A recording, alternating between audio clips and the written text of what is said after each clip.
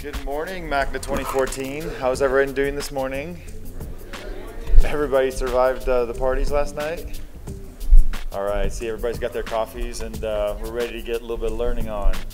Um, when I try to put together the speaker talks, I try to come up with a selection of topics, and some of them are really cute, lean back, uh, you know, picto, pictograph kind of presentation.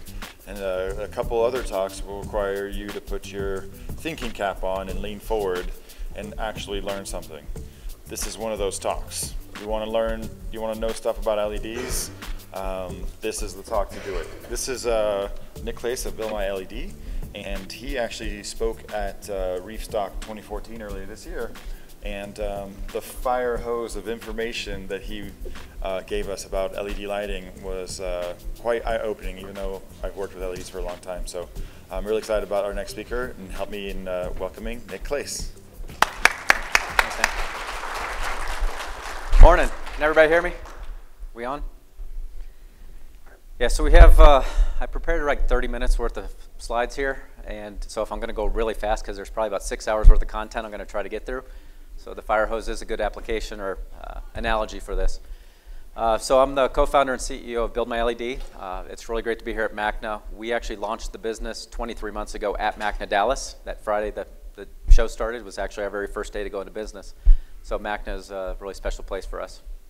So the talk I'm going to give today is really about LEDs in general, not promoting our LEDs, but just LEDs in general, because we get phone calls every single day about people wanting to go turn their tank over to LED, and there's so many questions. So this presentation is pretty much all of those questions, trying to answer them preemptively. Um, so we're not going to make it through all of the content today, but we do have a booth here, and so we'll be here till 4 o'clock when the show shuts down. So if anybody does have questions, probably won't have a lot of time for Q&A in here, but we'd love to have you come by and uh, ask us over there. So here's a fun picture of me in college in the late 90s, posing with my first reef tank. And uh, it was late 90s, so I kind of get a vanilla ice vibe out of this picture, even though it was a few years after that. But I, I put this up here because I am an aquarium hobbyist. I've had fish tanks since I was about five years old. And uh, so first and foremost, we are hobbyists at the company, and we really love uh, being a part of this crowd. Also, on the freshwater side, to this day, if you go to simplydiscus.com, if anybody's ever kept discus, anybody in here, possibly? If you go to simplydiscus.com, which is the uh, probably the best site on the internet for discus, uh, my old breeding pair, I used to breed discus, uh, the, the red pair that you see down here under the breeding and genetics tab, that was my pair of fish with some spawn around them. So to this day, I kind of have still a little bit of fish out there. So here's some of the fish when in my, one of my raise out tanks back in 2004 or 2012 or 2002, 2004, I was doing, uh, like I said, discus breeding at my house, like part time. And I've since got into uh, baby breeding uh, in the last couple of years. Um, if you haven't tried it, it's much better than the fish breeding. So, highly recommend it. Yeah. so, this is my daughter. She was born 21 days ago. This is Lillian. So, uh, thank you. This is my co-founder, Randy, and myself at our factory in Austin, Texas, where we build all of our lights. Uh, he and I met at a company called Illumitex, which was an LED manufacturing company. So we had a plant in Penang, Malaysia, and we actually built the LEDs. Uh, so we know quite a bit about the LED itself. Uh, previous to that, I spent about a decade at Acuity Brands Lighting, which is the largest lighting company in North America. And my co-founder comes from more on the semiconductor computer side of the business. So um, what we're going to talk about today, it's three parts of the talk. The first one is how do LEDs work. There's a lot of misinformation about LEDs, actually what they are, and so we're really going to break it down and kind of really dive into the very heart of an LED and explain how they work. And then two, we'll bring that back to the reef aquarium and talk about how does an LED and all of that that we learned about LEDs apply to the aquarium. And we're also doing some uh, research right now on wavelengths and corals and try to give you an update of where we're at with all of that. So part one, how do LEDs work? So what's an LED? So if I had you close your eyes and just picture an LED, some people may picture a low power indicator type LED like this, maybe a Christmas tree light. If you've ever built your own LED system, maybe you picture a Cree high power LED. If you're Jake Adams and you know a whole lot about LEDs and you're big into reefer, um, this may be what you picture. Yeah. I don't just pick on Jake, though. I know that uh, Sanjay, why he's been testing those high power, high power lights for a long time. And so, uh, so how does an LED work? So that's a picture of an LED. This is uh, made by Philips, a company called Lumileds, a really popular LED manufacturer. So the LED is actually a semiconductor that emits light when you apply current or a voltage to it. So when you say an LED, a lot of people picture that over there, but the LED itself is actually an extremely complex little part. And there's pretty much five steps to it, and when somebody says an LED, they could be referring to many different layers here. So the first step, an LED is actually, obviously it's a man-made object, and it starts on a substrate, and then they put what we call an epitaxial layer on it, so in the industry you call it the epi layer. The third piece is, that is then dissected up into a little LED, the chip, the actual diode that's going to emit light. That's then packaged into what we call the LED package, which is what you see over on the left. So a lot of people, when you think of an LED, you're actually thinking about that package there. And of course, then we put that into the light fixture that we put over aquarium to light the corals. So the substrate, this is part one. So most of the uh, substrate that the LEDs are actually grown on are typically is made by uh, a sapphire material. And we actually have some, I brought some show and tell, so if you want to stop by the booth later and actually see the different stages of LEDs, so we actually have some sapphire wafers here at different stages of processing. Uh, so the two inch wafer, I have a two inch wafer and a three inch wafer that you can take a look at. You can see the push in the industry is to go to bigger wafers because you're going to get higher yields and LED prices will go down and cost of LED fixtures will go down. But uh, this is the first step. And so sapphire is an extremely hard substrate. And so that's why they start with uh, using that uh, sapphire. So that's sapphire, and you can see some of the wafers over here stacked up. That's going to be put into a machine called an MOCVD. It's a, about a million dollar machine, very expensive. And so we're going to put that sapphire disk into this machine, and this basically we're going to start uh, applying different uh, materials. And with most LEDs used in the reef, the material that we're going to use, it's a compound semiconductor. And we're going to use gallium and we're going to use nitride. So it's called a gallium nitride, or in the industry, call it a GaN material. And it's actually, this machine is so sophisticated, it actually lays down the GaN in a one atom layer, thick layer at a time. It's highly precise. And so if there's any defects in that crystalline structure, you're going to get less power. It's going to be a less efficient LED. So it's a very, very expensive machine, and to do this is extremely complicated. So when it comes out of this machine, the color of the disc is going to look, the, the substrate is going to look a, a little bit different because it has the GaN on it, so it's going to have a very shiny type surface on it. So if we took that disk at that point after it's been processed and we kind of looked at it from the side, like from a sandwich view, this is what you're going to see. So we call the epi stack. So on the, the lower part, that gray material here, that's the sapphire. That's the actual substrate. And up top is the layers that have been deposited through that machine. And the two most important, you can see where it says PGAN and NGAN. That's your gallium nitride. There's two stacks. And in between, there's something called the quantum well. That's where all the magic happens within the LED. So as electrons flow through this LED, electrons, once they go into that quantum well, if they fall into what we call an energy hole, they fall into a lower state of energy and they throw off a photon. That photon is the light that you're giving to your corals. So that's basically the heart of what's happening here. So it's an extremely sophisticated process and something we just take for granted, but it's actually some really cool stuff. So this picture was actually taken by a scanning electron uh, uh, uh, microscope. So it's a, a, super duper zoomed in layer of pretty much what you're seeing on the left. So instead of a graphic, this is actually the real epilayer. So on the bottom, the aluminum oxide, that's your man-made sapphire.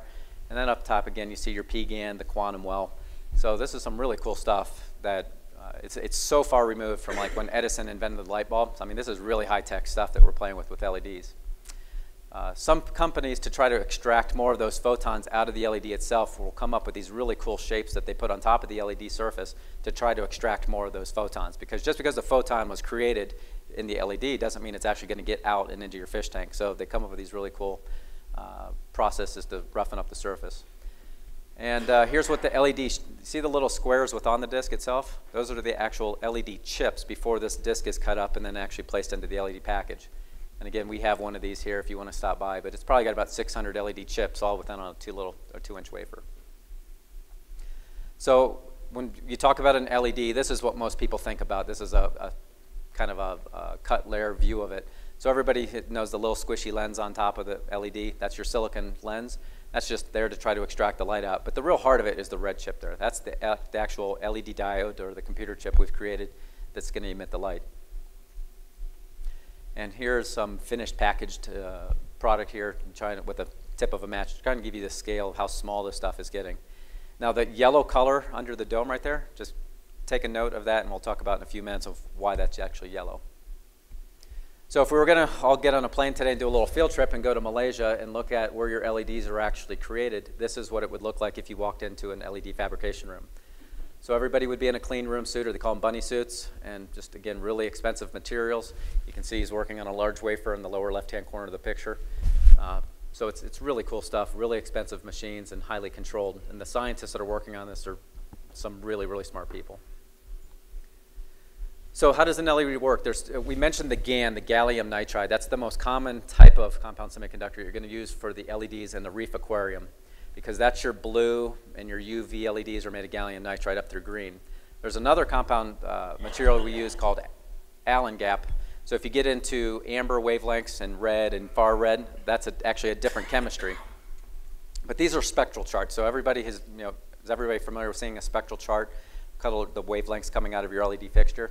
So this is a dead giveaway that these are individual diodes. So these are LEDs. So you have a blue or UV LED, a green LED. So you see how they're fairly peaky? So they're not very broadband sources.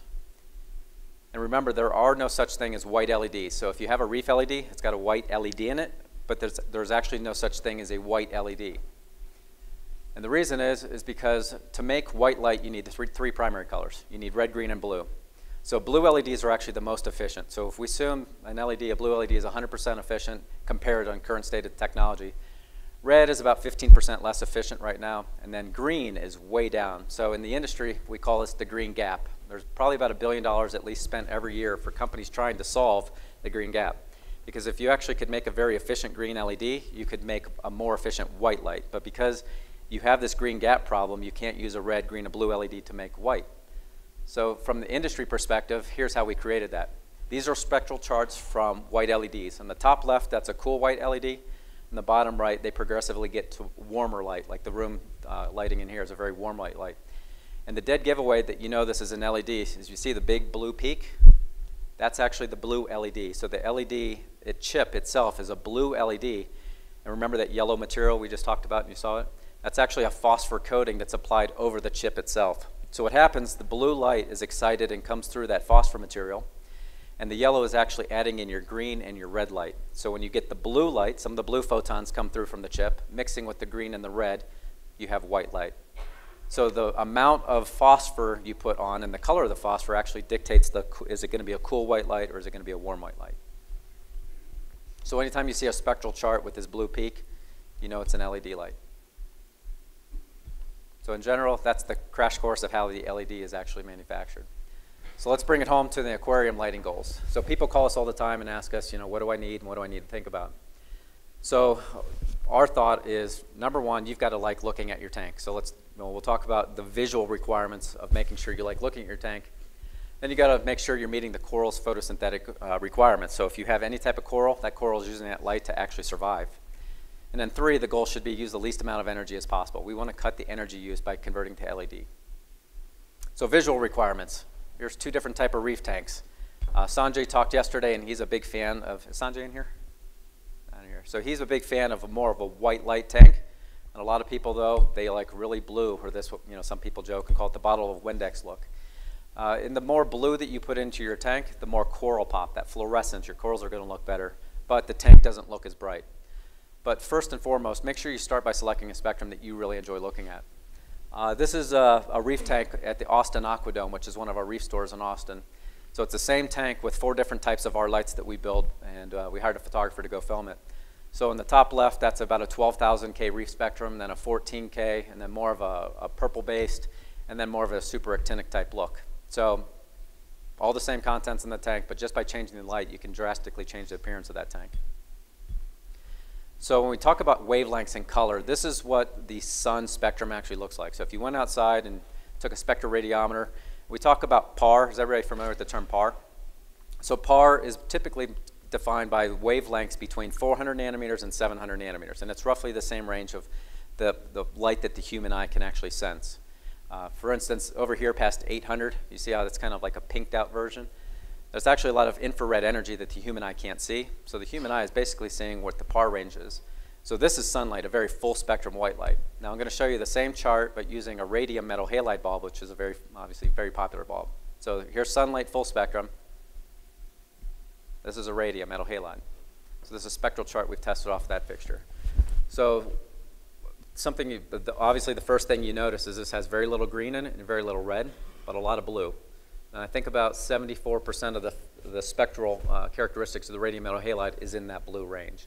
So whenever you see uh, this drop off going from full spectrum to these reef type lights, the reason typically we've done that is number one, I think people like seeing the blue, but also water absorbs different colors at different rates. So this is a, over on the left an absorption chart of how the different wavelengths are filtered off. So again, the PAR range, basically 400 to 700 nanometers.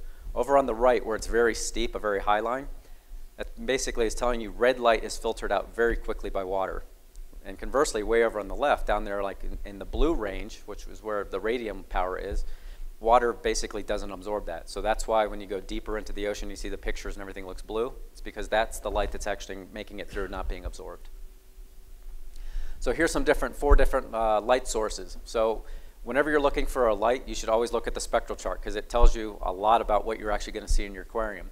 So again, noon sunlight in Austin, Texas, no clouds. That's what the sun looks like. Over on the right, again, the dead giveaway that this is LED is because you have a couple peaks in the UV and the blue. Those are the blue LEDs. Over here, you actually see the little red LED bump. That's a red LED.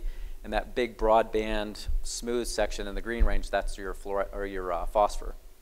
The top right is a fluorescent system. It's a very peaky. You get the red, green, and blue peaks from the phosphors inside the tube. And the Ushio 14K metal halide. Again, you can see that it's got a lot of blue, but it actually has a lot more green and red than the uh, radium may have. So apart from looking at the colors in your light, there's also a big phenomenon that we look at called fluorescence. So this is the coral pop, the thing that everybody loves to see in their corals.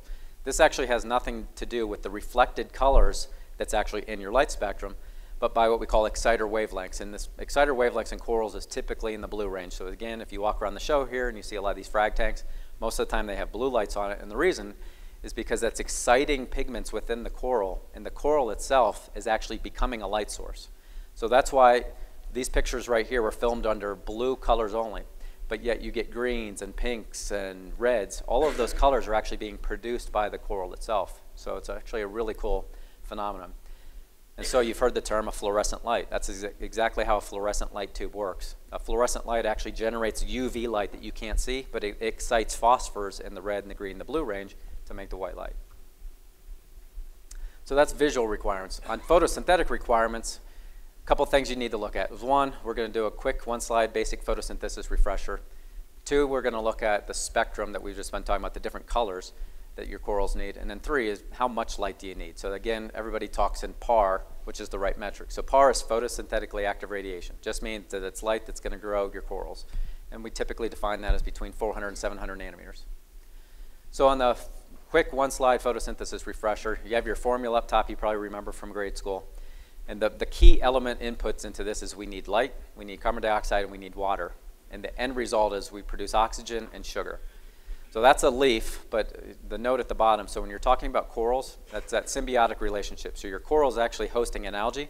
That algae is actually what's doing the photosynthetic process. In exchange for, I think the number I've heard is maybe around 80% of that glucose it's providing, it gives back to the host coral. So the coral says, hey, I'll give you some space in here. You can come live rent free, but you just got to, well, not rent free. You just got to pay. It's going to give the sugar back to the host coral. And so that symbiotic relationship. But that's why light is so important. If you take light out of that equation, bad things happen to your corals. So in measuring PAR, this is a tricky thing because uh, there's a lot of bad ways people think that you can measure PAR in your aquarium. So this is one slide, and I'm just going to give you a bunch of different bullets, and hopefully some of these stick. And so things I would say you the, let's talk about what you don't want to do. What you don't want to do is use visual brightness as an indicator of how much PAR is in your tank. A lot of people, and maybe some people in this room, tried to do this with LEDs and you ended up bleaching your coral. We don't want to use a lux meter to measure PAR. In the past, we could use lux meters for measuring white light back when we used maybe fluorescent or metal halide. You can't do that anymore with LEDs. You don't want to use an inexpensive PAR meter to measure PAR. You don't want to use watts per gallon to determine lighting needs. If anybody in the room has ever used that term, watts per gallon, we'll talk about why that's, that's no good. And you don't want to use LED wattage as an indicator of PAR. So a lot of people will walk up to us at the show and say, hey, do you use 1 watt LEDs? Do you use 3 watt? Do you use 5 watt? But we don't like answering that question just right out because it really doesn't tell you, the consumer, anything about that lighting system. So really, there's only one thing you do want to do, and you do want to use a properly calibrated PAR meter to measure the PAR in your tank. So let's dive in real quick into some of these things. So why don't you want to use visual brightness to measure PAR? So here's how the human eye responds to different wavelength colors. The way you interpret this chart here, and again, it's basically 400 to 700 nanometers. If I handed you a photon, and I brought up photons on the stage, and I showed you this is a 400 nanometer photon, and I went all the way down the line to 700 nanometers, and I asked you to rank how bright they were, this is the graph you would come up with.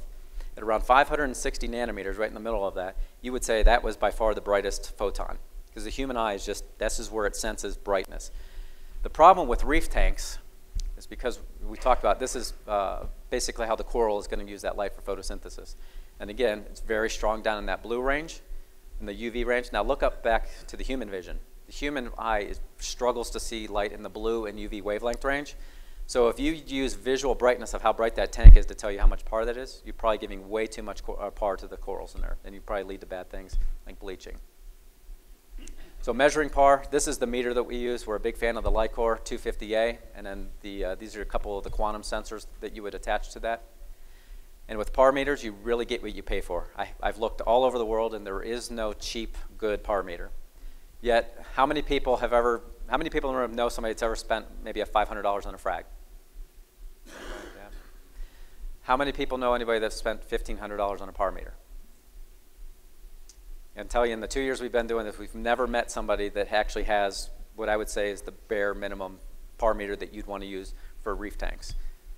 But it's probably the most important piece of equipment if you have a very expensive reef tank and you're spending a lot of money on your corals, you have to know how much light you're giving to your corals. So kind of in summary in there, you don't use electrical watts to compare lights. A lot of people walk up and say, hey, how many, light, how many watts is that light? It doesn't matter. And they'll say, well, what's the wattage of the LED? It doesn't matter. And the reason is these metrics don't tell you anything about how much light you're actually buying. So again, you think about it. Watts don't grow corals. Electricity and water don't match, right? Those aren't mixed, they don't mix very well. So you want to talk about how much light you're actually delivering to the corals, not how much electricity is actually going into the fixture. So what you do want to ask that manufacturer to provide are two things. Number one, ask for a PAR map to show you how much PAR is actually going into the tank in an aquarium application at various depths. And then two, ask for how many input electrical watts, meaning don't let them tell you what kind of wattage they're using at the LED. Ask them if you put a watt meter on the end of your light, how many watts are actually coming into your system. Between those two metrics, that's really what you want to look at. And I'll tell you a little bit why. So two months ago, there was a great paper. Uh, we also have a company that we do horticulture lighting systems. And uh, one of the top photobiologists in the country, uh, Dr. Bruce Bugbee, his team led a paper uh, talking about LEDs and are they ready for greenhouse lighting applications? Are they ready to take on high pressure sodium lights in that market? Uh, Dr. Bugbee, he's very well known. He's also the owner of Apogee Instruments. If anybody's ever used an Apogee PAR meter, this is the guy that owns that company. Dr. Bugbee's a very, very smart guy. So in two months ago, his team had a peer-reviewed article published in a major journal when they looked at, let's go out and look at the LEDs on the market. Here were the results, and this isn't to toot our horn, but it's to show you. So he went out and I think they bought like 10 different LED lights on the open market. And some of these names you may know if you ever do any type of work in horticulture lighting, like Lumigrow or Black Dog, Apache, California Lightworks. Uh, and so they, what they did is they bought lights off the open market, and everybody claims that they have the best grow light. Well, they sent them out and they put them in about a $100,000 machine that actually counted how many photons come out of the lights. And then they looked at the watt meter, how many watts did it take to produce that light? We ended up winning. We were the number one ranked LED fixture in that market. And when you look at some of these things, there was almost 100% variance in what we call, call PAR efficiency, meaning for every watt of electricity coming into your light, how much PAR was coming out of it. So if you were to use metrics like watts per gallon, and you compared our light versus the one on the other end, you could be putting almost twice as much par for the same amount of watts. So that's why we don't want to look at how many watts, again, you want to look at how much par. And that's also why this whole idea of looking, focusing on the watt of the LED is such a bad metric because it's not telling you anything about this chart up here. You want to be asking how much par is coming out of this fixture and how much watts did it take.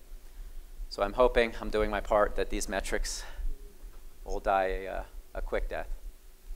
So part three, I'll tell you a little bit about, uh, we're doing some really cool work in Hawaii right now because everybody wants to know how does light spectrum, PAR aside, like you know how much light aside, how did the different colors of light impact coral growth rate? And we get that, at, you know, that question every single day.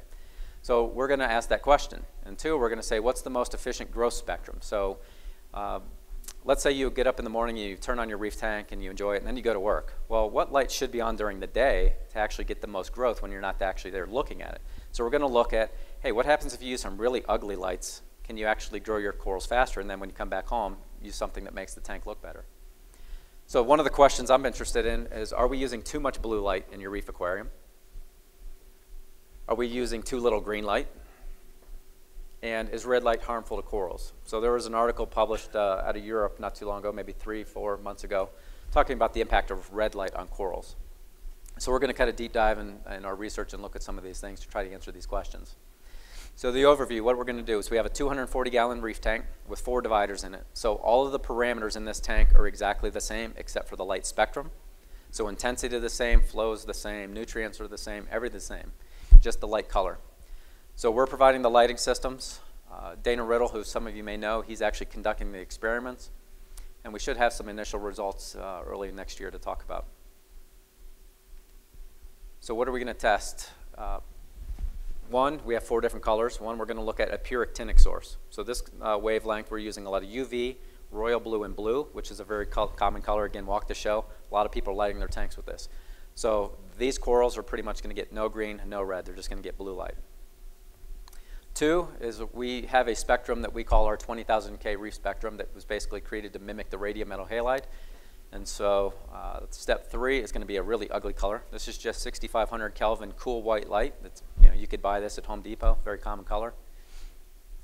And the last one, we actually, on our horticulture uh, company, we have a product called the Solar Max. So it's an LED spectrum that was built to mimic sunlight. So we're going to look at the impact of, all, again, all in the same tank, same type of coral. Same, uh, Dana will harvest these out of the ocean. He has a license to do that. So everything should be the same except for the color of the light. And we're going to look at how does this impact coral growth and health. And a quick snapshot of the spectrum content of those four lights that we're going to be using. Again, the actinic source is pretty much 99% in the blue range. The 20K, again, 74% of the power is in the blue range, 16% green, 9% in the red with a pinch of far red light.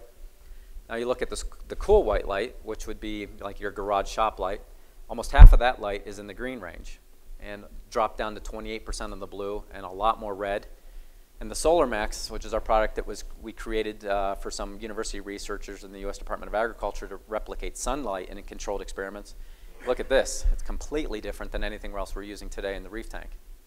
So 34% green, 34% red, 26% blue, and then the far red balance. Give you a couple other reference points that you may have used in the past. Has anybody ever used the Iwasaki 6500? Yeah? Did you get good growth results?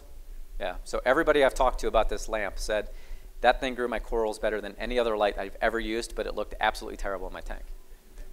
Well, look at look the, the, the spectrum down there. Notice how it looks very similar to the Solar Max or to the sunlight right next to it. So a lot of green content. And when you start adding that green into your tank, your reef starts looking really brown, really yellow, really gross. So in fact, somebody told me their quote was that grew my corals better than any product I've ever used, but it looked like I peed in my fish tank every day before I went to work. So, but again, so my theory is with LEDs and being able to color control and shift spectrum, what is the right spectrum to have on during the day? So when you come home, you can go back to the colors that you like looking at. But you know, should we be using that all day long? Again, sunlight, you can see right here, it's a very balanced spectrum as well.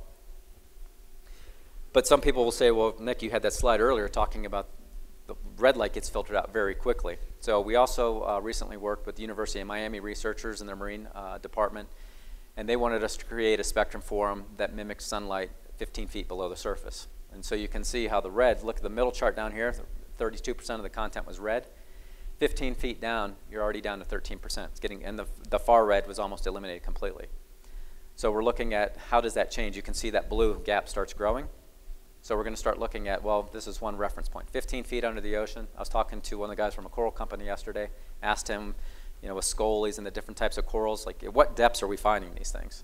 And uh, so we can start to look at maybe in the future when you're keeping a certain type of coral, if we can analyze in nature. I always look to nature. What thrives in nature, and can we mimic that with our technology in our tank?